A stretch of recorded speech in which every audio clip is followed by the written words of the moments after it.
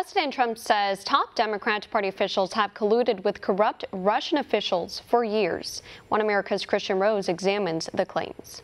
This was all about Russia, Russia, Russia. They don't talk about Russia anymore because it turned out to be a hoax. President Trump gives a fiery response to Robert Mueller's resignation statement, exposing the corruption ties between Democrats and the Kremlin. Talking to reporters on White House lawn Thursday, the president said Russia did not help him get elected. Instead, corrupt Russian officials worked with the Democrat establishment to protect their mutually beneficial money laundering schemes in the US and worldwide. You take a look at collusion between Hillary Clinton and Russia.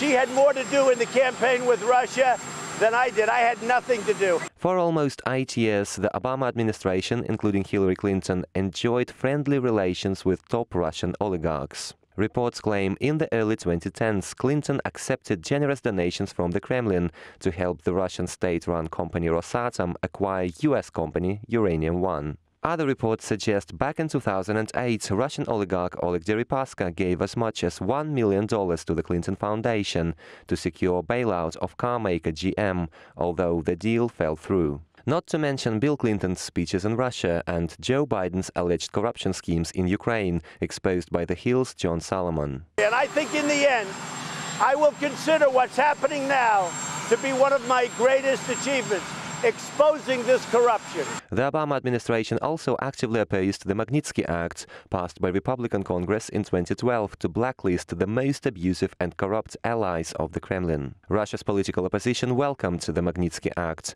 while one of the bill's authors, Bill Browder, said Hillary Clinton and John Kerry were not happy. Neither was the Kremlin. But if you're a Russian um, government official that's involved in high crimes, if you're involved in those things, you do that stuff so you can get money.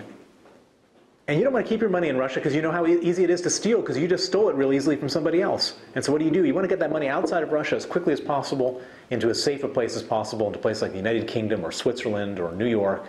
President Trump said the Obama era FBI, CIA, and DOJ conspired to prevent his election in 2016. The effort, he believes, was to secure a transition of power from Obama to Clinton and protect the system of corruption, government dysfunction, and abuse of authority for personal gain. And many believe all of these things will find their proof in the upcoming report by DOJ Inspector General Michael Horowitz. In other words, should Hillary Clinton lose, we've got an insurance policy. Guess what?